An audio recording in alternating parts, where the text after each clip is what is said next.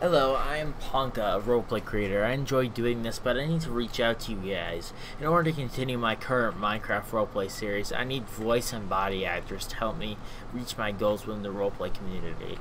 You need to have a mic that is audible, and you need to know how to download mods in order to be a body actor, if that's what you're hoping to become.